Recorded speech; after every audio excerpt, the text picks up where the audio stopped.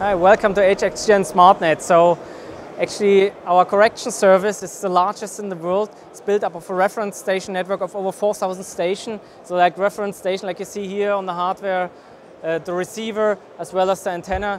And this reliable hardware actually uh, offers in more than 25 countries a correction service which our customers can use to determine a precise GNSS position in the field. That means if somebody is out and he wants to have a position down to a centimeter, he will get this in a few seconds. So this is infrastructure that we are running there, we have a very experienced team behind this. And this team is actually, yeah, with over 11 years of experience, really every day on their business, they are focused on improving the quality, the service uptime, as well as the reliability.